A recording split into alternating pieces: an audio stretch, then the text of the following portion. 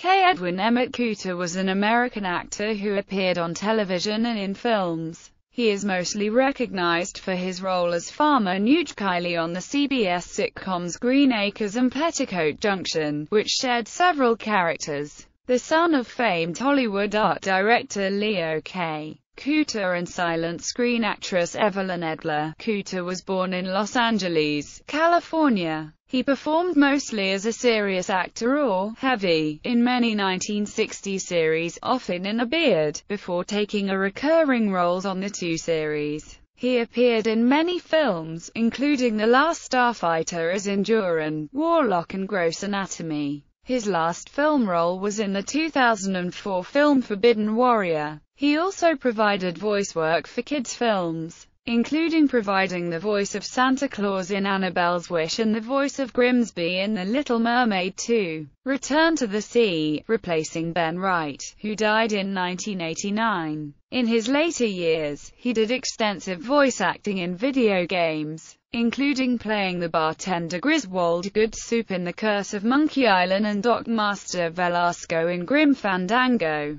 both well-known LucasArts adventure games of the 1990s. He was probably best known to video game fans as Werner Huber in The Beast Within, a Gabriel Knight mystery. He was the voice of Hershey's Kisses commercials for 14 years. He made guest appearances on many television series, including Bonanza, Perry Mason, Gunsmoke, Star Trek, The Next Generation as a Cytherian in the Season 4 episode, The NTH Degree, and in Star Trek. Deep Space Nine as the Barger and in the first season episode, The Storyteller. He also appeared on a The Charmed episode, Happily Ever After, The Outer Limits episode, The Premonition, as of Limbo being caught in time. Seinfeld as the Latvian Orthodox priest, The X-Files episode, The Calusari, as the head Calusari, and Frasier as a vagrant who wants a kiss from Martin Crane. Kuter died on November 12, 2003, from pulmonary complications at St. Joseph's Hospital in Burbank, California. He was 78, and his death came only four months after his mother's passing at age 103. He is buried in Forest Lawn, Hollywood Hills Cemetery.